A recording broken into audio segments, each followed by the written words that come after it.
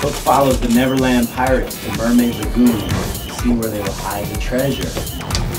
But you're not gonna get your fingers. The treasure first. Yay, that's the way.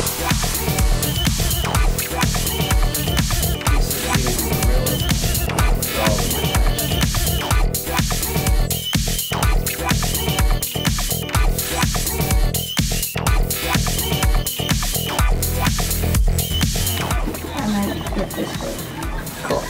Cool. And take a take a bookmark too. Thank you so much. Yeah, have a good day. You too.